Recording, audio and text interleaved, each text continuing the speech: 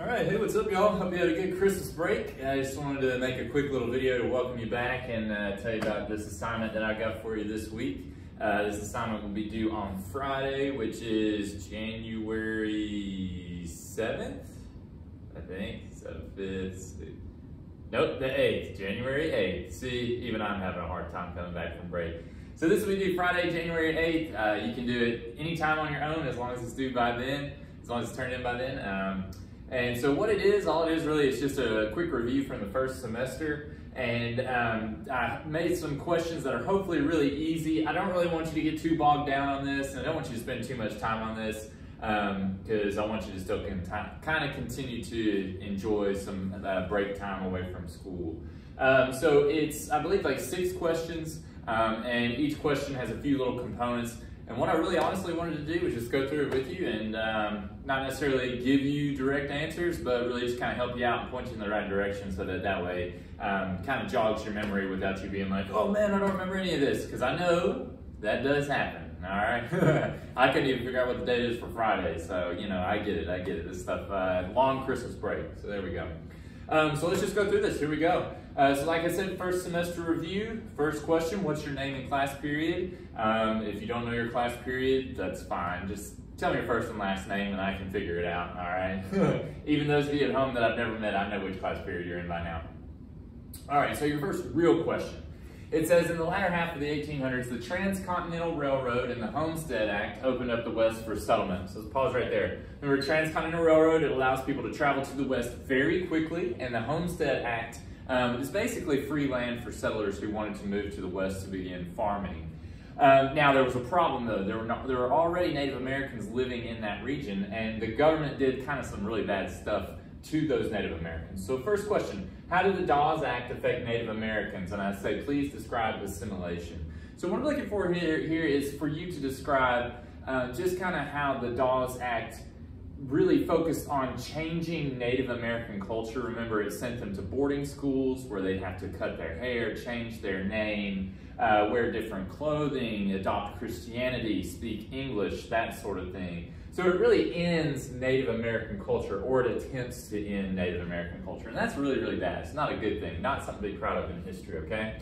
And then secondly, where were Native Americans forced to move? So the American government kicks uh, Native Americans off their original tribal lands and uh, moves them onto life on reservations. Now, life on a reservation, not a whole lot of resources, not going to be any kind of jobs or anything like that. Native Americans are also not really used to settling down and farming and owning individual land territories. They're more used to moving in groups. Um, a lot of these Native Americans in the West were nomadic, um, so they're used to moving around. They're not used to sort of a Western or an American uh, way of life uh, that Americans in the East were living. So life on a reservation is really bad. Um, like I said, not a lot of resources. A lot of these things are out in the middle of the desert. Um, and even nowadays, poverty is still a huge problem on reservations, okay? So hopefully that wraps that one up for you. Um, if you really need some major help, obviously you can Google any of this stuff, or you can go back and watch some of my old videos. I've gone over all this stuff in all the other videos that I've posted. Um, so if you need some help, let me know, okay? All right, moving on, number three. So we're gonna switch directions here. We're gonna move to the south. So that was about the American West. Now we're moving to the American South. Okay, and it says, in the South in the late 1800s, African Americans faced extreme discrimination. So your first little question is, uh, what were the Jim Crow laws, i.e. separate but equal? Now, this Jim Crow era actually starts, doesn't really start until 1896 with the Plessy versus Ferguson, which was about um, the ruling of the train cars, where you had to have a separate train car for African Americans and a separate train car for white Americans. And um, so the idea of separate but equal was that African Americans would have all separate facilities, separate schools, separate restrooms, separate train stations, separate everything. And the idea is that it would be equal, but in reality it was never equal. And in fact, the facilities for African Americans were always inferior. And that's a definitely a true form of racism. It's uh, not providing the same standard just because of someone's race. Okay? So that's what the Jim Crow laws is, is this idea of having separate places, separate facilities, separate everything for whites and blacks, but the ones for African Americans were not the same. Okay? All right. Number two, why was African, or the second one, why was African American disenfranchisement an important goal for racist Southern whites? Disenfranchisement, that's a key word there. Enfranchisement means the right to vote. So disenfranchisement means taking away the right to vote. So um, why was this an important goal for racist Southern whites? Well, the idea in America is that when you vote, when you have that political power, you are going to hopefully make a change. You'll, you'll, your voice will be heard, right? That's a democracy. Um, so for racist Southern whites, they do not want African Americans to have a voice because that will mean eventual change. That will mean improvement of the lives eh, of African Americans. And these racist Southern whites, they want to keep African Americans on the low end of the social life, the economic life, every aspect of life in America, okay? So essentially, uh, white, racist Southern whites did not want African Americans to vote because they did not want them to, want them to move up in life, okay? All right, last one. What types of violent acts did racists and KKK members take against African Americans who spoke out or voted against racism? Um, it's usually a form of intimidation. So they would go to the African American's house, they might throw rocks at it, break windows, they might bust in and beat you up. And at the very last, the worst part of it, of course, goes to lynching. And lynching, what it means, it's murder by a mob of people. And unfortunately, this happened pretty frequently in the South during that era um, all the way up through the 1950s and 60s. Um, and lynching, essentially, the way they did it usually was by hanging, uh, hanging, you know, from your neck in a tree. It's really, really just a terrible time in history, um, and not something, not something really to be proud of or really look back on with any kind of respect. It's terrible. Okay. So um, that covers that one. Unfortunately, we did have to go over that. Um, if you got any questions about that, again, Google it, email me, or watch some of my old videos. Let's move on to the Gilded Age. So it says, around the turn of the 20th century, American cities grew because of the growth of industry, so more factories in big cities. This is called the Gilded Age. Remember, gilded means covered in gold, but on the inside it's not actually gold because America looked great from the outside, but when people came here and saw, things actually weren't so great, all right, because there's a lot of poverty, working conditions were really bad, and the greed of corporate leaders and politicians was just outstanding at the time, and outstanding in a bad way. So, first question, who were some of the leading business people slash inventors of the era? So we got a lot here. Um, first one that's very important is Henry Bessemer. Without him, I don't really think any of this would have happened. He invented the Bessemer process, which converts iron to steel. Steel is very lightweight. It's very uh, good for building. You can build skyscrapers with it. The railroads expand. Basically, everything expands during this era because of Henry Bessemer. Um, then you get guys like Carnegie, Andrew Carnegie, U.S. Steel, uh, makes a big fortune off U.S. Steel. Then you get Rockefeller, who's oil. Um, and so you got J.P. Morgan, who's big into banking. Um, on the other side, it's kind of interesting. Uh, you get um, inventors in electricity like Tesla and Alexander Graham Bell and Edison, those guys.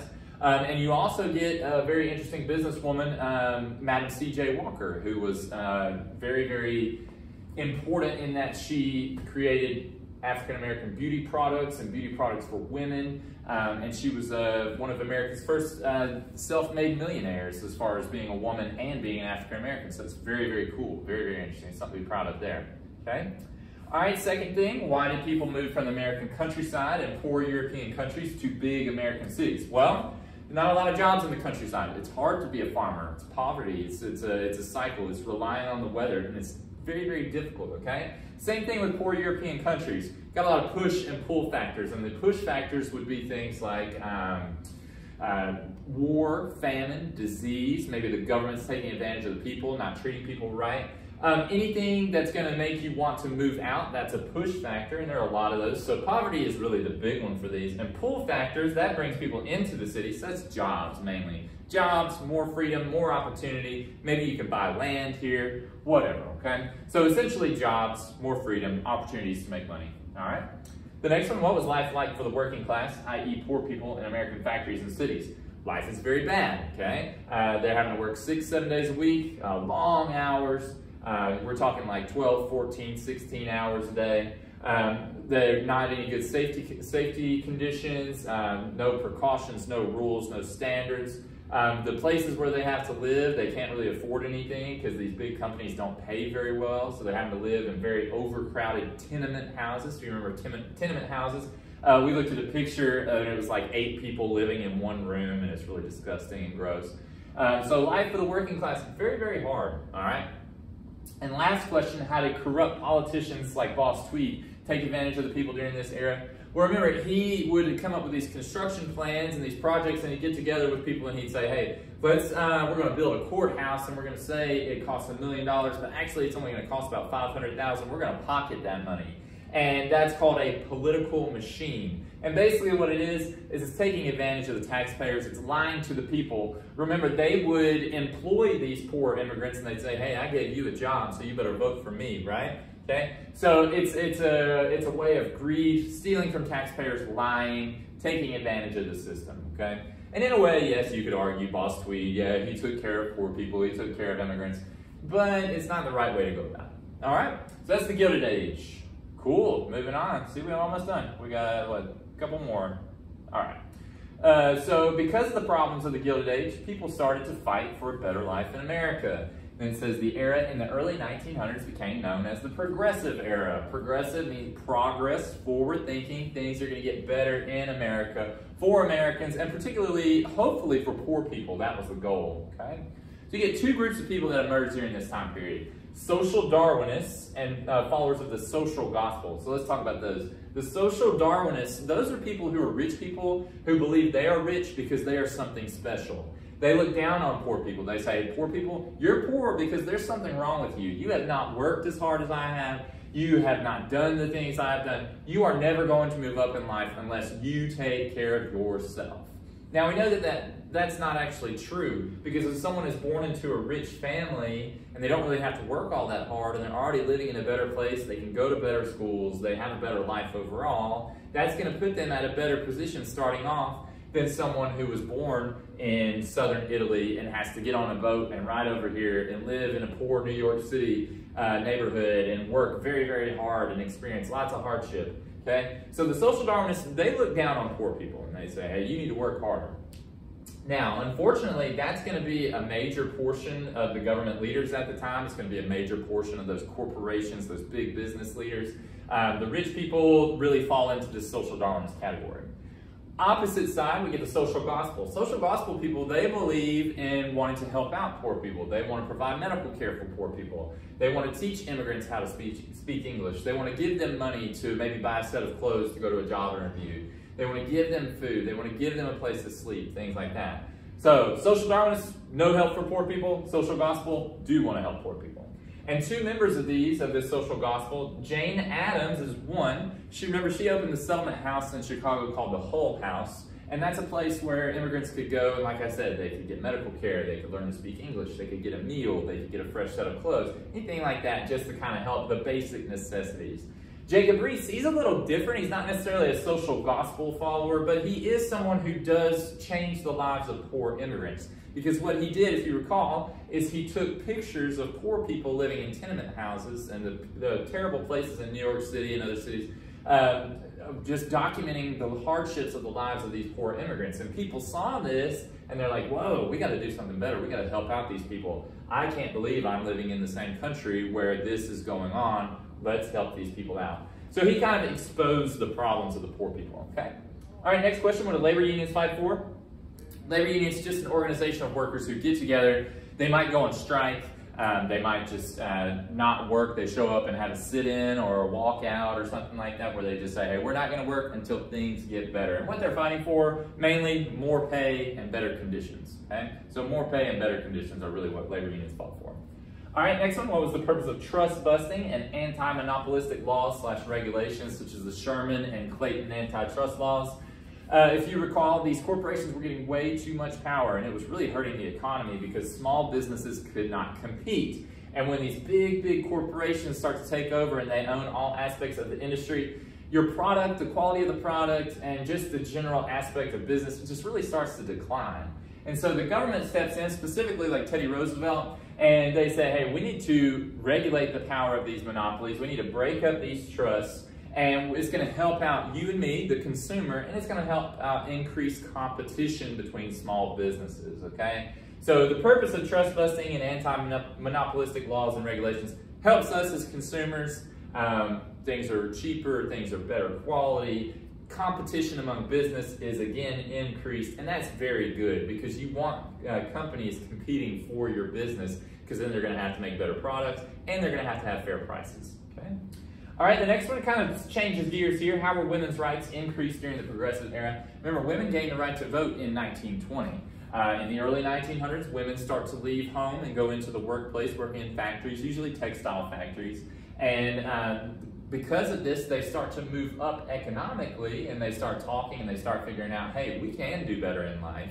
We should have the right to vote. We live in this democratic country. We should have a voice as well. Okay? And switching gears again, uh, we go to Booker T. Washington and W.E.B. Du Bois or Du Bois.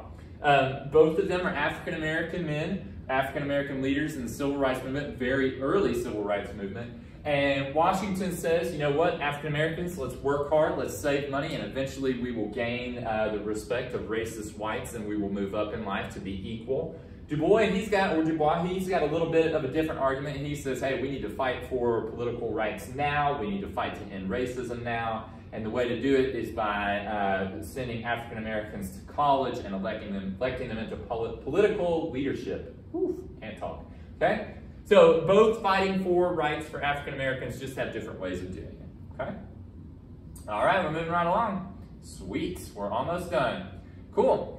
All right, now, number six. As America became a wealthy nation, the government decided to flex its power on the global stage, and we entered the age of imperialism. So it says, what are the two main desires of the American government for taking over slash expanding territory around the world? Okay, and it says, hint, making money is the basis, but how? All right, it's very simple, very, very easy answer here, okay? So what you're gonna wanna focus on here is uh, raw materials, that's stuff that you can turn into natural resources, wood, rubber, oil, iron, anything that you can turn into something and sell it. Raw materials and new markets. So that's going to, actually really going to be your answer. Raw materials and new markets, okay? New markets means uh, different countries around the world that want to buy our stuff that we make, okay? Uh, and then it says the government hid the motive of making money by saying America was spreading democratic ideals. What does that mean?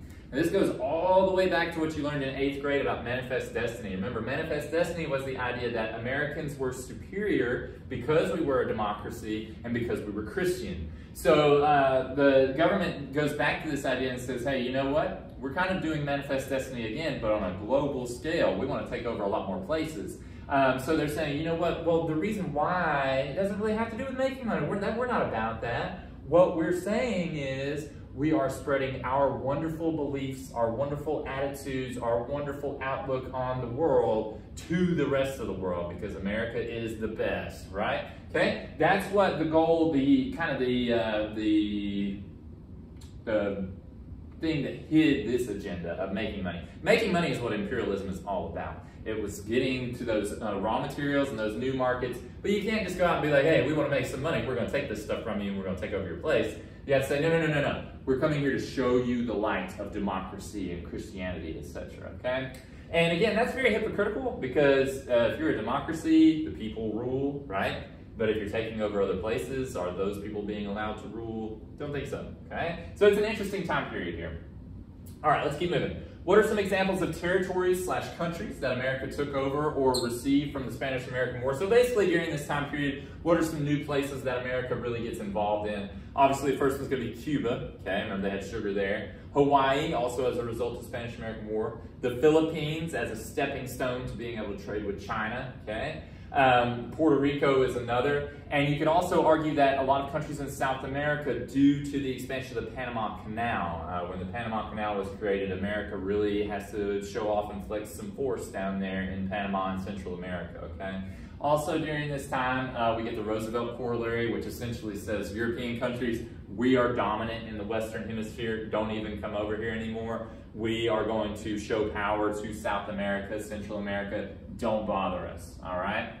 So next one, as a result of global imperialism, meaning a lot of countries, specifically in Europe, uh, trying to be empires, uh, World War I began. And so why did America eventually have to join the fight? Remember, America doesn't initially join. Uh, the war broke out in 1914, and it's happening over there, and America's kind of watching like, yeah, we don't need any part of this. We're too busy making money right now.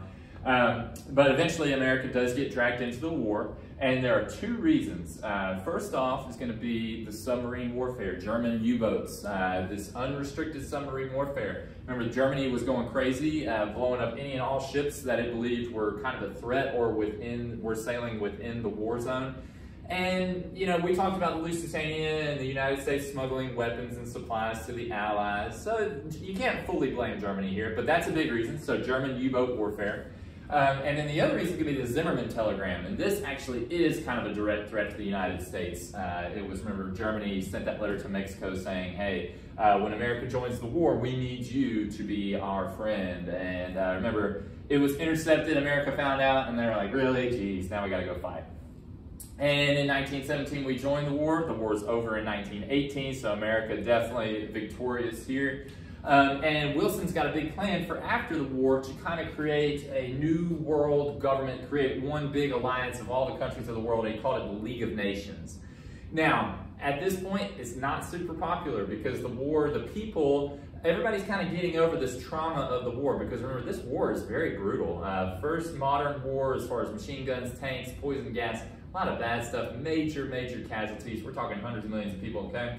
Really bad, all right? And so Americans, as just as a populace, they look at this and they say, hey, we don't really want any part of being friends with all these European countries. We want to stay over here. We want to make money. We want to live a good life. We don't want to worry about this. We don't want to get dragged into all these problems. So that's really the main reason why. But there's a few like specific reasons, so let's go through them. So why did Americans oppose joining the League of Nations? First of all, it's probably going to get us into another fight. All right, these entangling foreign alliances. Remember that phrase? Uh, Americans don't want to get wrapped up in other countries' business. They say, hey, where did it get us before? Nowhere good. All right. Secondly, you've got a huge block of voters who just entered the scene, women voters. And if you recall, women voters, they don't want their husbands, fathers, sons, brothers. They don't want their male counterparts going to fight in a foreign war. It's very unpopular, okay? So women voters are anti-League of Nations because of that. And thirdly, the German Americans living here, remember, at this time, America was a very, very young nation, and a lot of people remembered their immigrant roots. And America was made up of a lot of German people. Uh, and they looked at this League of Nations, and the Treaty of Versailles and the League of Nations go hand in hand. The Treaty of Versailles was terrible for Germany. And German Americans look at this and they say, you know, we can't support this whole big thing because it's too harsh on Germany, okay? So uh, the reasons America becomes isolationist, meaning we're minding our own business. Women voters don't want to be a part of it because their sons, brothers, etc. Are going to war. And thirdly, German Americans don't support the Treaty of Versailles, okay? All right, last one. After World War I, America enters a prosperous era known as the Roaring Twenties. So first question, how did people spend their money during the 1920s? Well, now they've got money and they're happy because we've gotten through this tough time known as the Great War, World War One, and they say, hey, let's spend some money on leisure and entertainment. And what I'm talking about here is listening to the radio. Remember, radio ownership skyrocketed, and as a result, we get a pop culture in America, which is really cool. Um, so, leisure and entertainment. Listening to the radio, going to the movies, learning about pop culture, getting into celebrities, buying stuff because of the war, we have all these new inventions. Um, America is just on the fast track to success, and, and especially industrial success. So you get things like refrigerators, toaster ovens, even band-aids, like just all this new stuff in the 20s, and people get excited. And the problem is they get a little too excited, and they start to buy on credit. There's nothing wrong with buying on credit. Remember, buying on credit means you take home whatever it is today. So say the iPhone sitting there. Take home your iPhone today and you're going to pay it off over the course of two years. And people get too excited and they say, hey, I'm going to buy a car, I'm going to buy a radio, I'm going to go to the movies 18 times, I'm going to buy a refrigerator, I'm going to do whatever I want because it's the 20s and life is good, okay? This is also called buying on installment plans. The problem with that is people get in over their heads, it's too much debt, and then they can't pay it back and that leads to bankruptcy and other things, but we'll get there. Next thing, how did the automobile change America's economy and Amer America's social life? The economy booms as a result because think about all the things that go along with cars, okay? So first of all, you got the car factories themselves, automobile factories, Henry Ford and the assembly line and whatnot, massive amount of jobs. Then you get mechanic shops, you get tire shops, you get um, need people to build roads, you need all these things that go into cars that make a lot of money. So America's economy starts booming during the 20s, which is really good.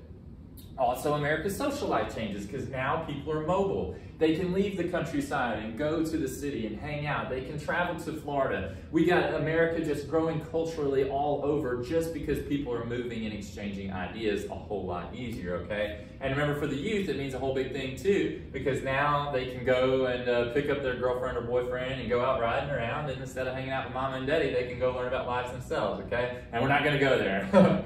All right, number the next one. Were the Great Migration and the Harlem Renaissance? So the Great Migration, remember, life was still pretty bad for African Americans in the South during this era. And they decided, hey, you know what? There's jobs in the cities of the North. Let's get out of the South. And it's a huge migration of African Americans from the South to the cities in the North, okay? And that creates a cultural change. And one of the big, long-lasting cultural changes is something called the Harlem Renaissance. And all that means, it's a time period of great art, music, literature, poetry, uh, created by African Americans. And it was a celebration of African American culture, which is really, really good. It's a great time period. It's a time we get like Duke Ellington, Louis Armstrong, Zora Neale Hurston, um, Langston Hughes. So really great artists and musicians and writers come about because of this time period, okay? Now, even though it's a great time period, even though it's a roaring 20s, wonderful time, prosperous, etc., there's still kind of some problems, okay? You can never escape problems. Um, so the next thing it says, explain the conflict between traditionalists and modernists during the era. So the 20s is a time period of change. Things are moving forward and very quickly. A lot of people tend to resist change. They don't like change. And the people back then who resisted that change, they're called traditionalists. So these are people who are more fundamentalist, old school, more based on religion, and there's nothing wrong with that. Um, but there are people who kind of like, for example, the Scopes trial, we have this huge debate between the traditional view of religion, the creation story, versus science, the evolutionary theory. Um, and it's just this huge conflict. Also, traditionalists sometimes, and like I said, it's not bad to, to be traditionalist. There are bad aspects of it though, such as racist. Remember, the KKK grows huge during this time, okay? Because it's people seeing things like the Harlem Renaissance and they push back against it. And they didn't like it, these racist Southern whites. And so the KKK grows, and that would be an example of traditionalists. So traditionalists is kind of like this old school, resistant to change mentality in America. Excuse me real quick. Haven't talked this much in a while, all right? Next thing is modernists. So we talked about traditionalists, old school, religious-based, fundamental style. Modernists are going to be your forward-thinking people. And a big group of people who symbolize the modernists of the era are the flappers. And if you recall flappers, they are women during the 1920s who challenged social norms. They wore short skirts, smoked cigarettes, drank alcohol, danced, had fun, just enjoyed life in general. Um, and uh, so these gonna these people are gonna be kind of the idea of let's move forward, let's let go of this old way of life that's holding us back. Let's think more about science. Let's do let's you know let's get into what possibilities could be out there. And so it's going to be a big clash, and we really see that uh, embodied by the Scopes trial in 1925 in Tennessee. Okay, and you can talk about that if you want to. All right, let's move on. Next one, what was the effect of prohibition on America? Prohibition, remember, it was when the government tried to uh, outlaw alcohol, and it's just a gigantic failure um, because people really liked to drink alcohol in America. Remember, life was pretty hard, and at the end of the day, a lot of these people just wanted to have a drink. And America uh, said, you know what, we're going to try this. We're going to try this experiment of not having alcohol to see if our society changes, because society had a lot of problems, a lot of poverty, violence, racism, a lot of problems in society. And they thought prohibition alcohol would, if you get rid of alcohol, maybe the problems will go away. Unfortunately, that didn't happen at all. In fact, the problems tended to get worse. Because people really now just drank out of rebellion. They did it because it was something fun to do, and it was kind of a way of just being rebellious against the government. People really didn't care. There wasn't a great way to enforce this. But unfortunately, big uh, criminals see an opportunity here. They say, hey, you know what? We can import alcohol from Canada. We can import alcohol from the Bahamas. We can get it from all over the world and we can sneak it into America. Also, we can make it here at home. We can make moonshine and then we can sell it. So big criminals take an opportunity here and we get the rise of organized crime like the mob and the mafia who make tons and tons of money. You get Al Capone, this dude's making the equivalent of like $2 billion a year in modern money, okay? He's like hundreds of millions of dollars just a celebrity criminal, and it's because, it's really only because of Prohibition, okay? So Prohibition, major failure, um, and the rise of organized crime. Organized crime just skyrockets during this time period, okay?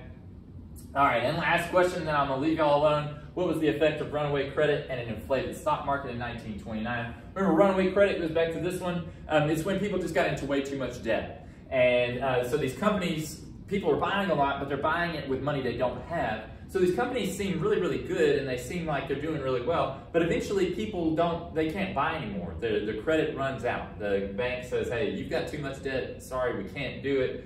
And these investors in the stock market who had been buying all these stocks all along, they kind of have a panic moment when they see people stop buying. And what happened in 1929 was all these stock market investors, they have a massive sell-off. They say, hey, these companies really aren't actually doing as good as we thought they were. And don't worry, we're gonna go over this next week. These companies are really not doing as great as they thought that, we, that they were. And uh, we need to sell this stock quickly before everyone else realizes. And so one seller starts selling, another starts selling, and you get people just a massive sell-off. And when that happens, the value of the stocks just drops drastically. And it drops so fast, in fact, that the stock market crashed, okay? So the effect of runaway credit and inflated stock market was that it crashed. Then from there, you got people running to the bank, and I'm getting ahead of myself in the next week, but I want to go ahead and give you a heads up. Uh, people run to the banks, they withdraw all their money, the banks run out of money, the banks close, and we enter, and here's really your answer. We entered the Great Depression, and that's our uh, very first topic for next week, which I'm actually really excited about. It's a very interesting time period in history. It's sad, it's depressing, you could even say. um, uh, so yeah, so we'll get into the depression next week. That was a terrible dad joke, but it's funny anyway. So there you go. Um, email me if you got any questions. You can go back and watch some of the old videos. You can Google this stuff. It really doesn't matter to me. Uh, whatever you need to do to get it done. Guys, hope you had a wonderful holiday break. Hopefully you had a great break and uh, hopefully you're ready to get back into learning and doing some new stuff because I am. I'm excited. We got the Depression, we got World War II, we got the 50s, we got Vietnam. We'll get to the 80s and really that's probably going to take us right up to the end of the school year. So guys, hope you're doing well. Help, uh, hit me up if you need any help on any of this and uh, have a great day. Bye.